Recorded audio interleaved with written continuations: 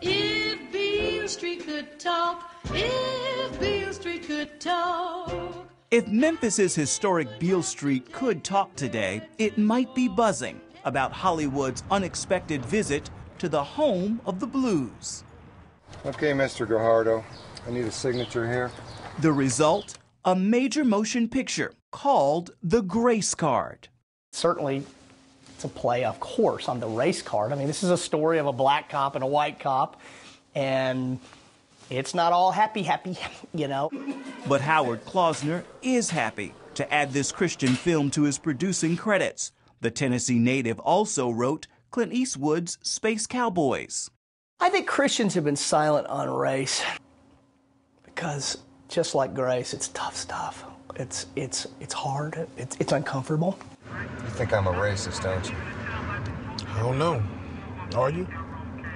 That car was speeding. Five miles over. What was the law? I'd have pulled a thumping lowrider full of white guys over, too. The story centers on Memphis police officers Mac McDonald and Sam Wright. Personal tragedies have filled McDonald with anger at black people, himself, and God.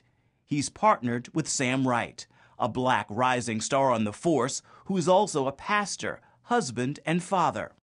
I think what sets this film apart is is that it's it's it's gritty from the standpoint that you see a, a side of Memphis that has not really been portrayed in movies before. That's important for director David Evans, who also has a local tie as a Memphis eye doctor. I know in my heart the difference that this is going to make. You know, there's certain things you just you just know that, that God puts in your heart and says, David, it's all going to be okay. For a first-time filmmaker, Evans scored major talent. Academy Award-winning actor Lou Gossett Jr. signed on to play a retired civil rights leader and Officer Wright's grandfather. He sent him the script, and I'm happy to say the next day, Mr. Gossett himself called and said, "It's a beautiful script. I'd like to do it." Evans's fellow church members from Calvary Church also signed on as actors, extras, crew members, and caterers. They volunteered more than 10,000 hours, working day 62, take one, Mark. and night to shoot a feature film in 28 days. Could be our big screen boys. When you saw the script, what did you think?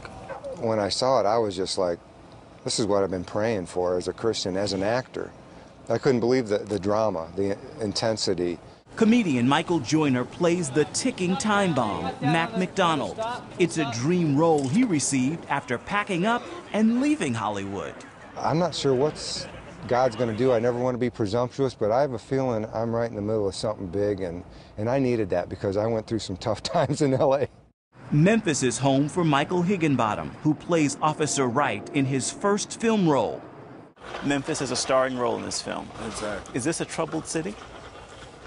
I would say that Memphis still has a long way to go as far as just getting past the racial divide.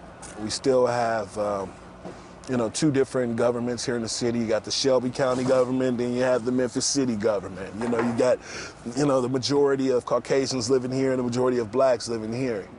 Memphis not only has a starring role in this Christian film that tackles the issue of race, the city also has a leading role in real life civil rights history.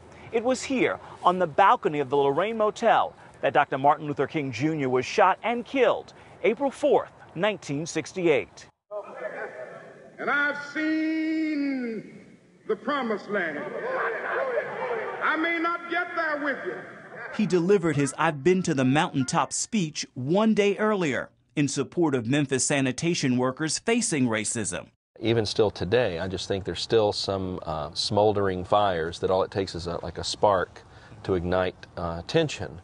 Sitting outside the Lorraine Motel, just beneath the balcony where King was shot, Evans is praying his film will ease tension, start a conversation, and spark hope.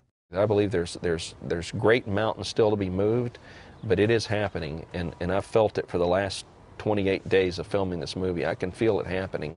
Because God's grace trumps the race card. Lord, please don't let me kill my partner. Efrem Graham, CBN News, Memphis, Tennessee.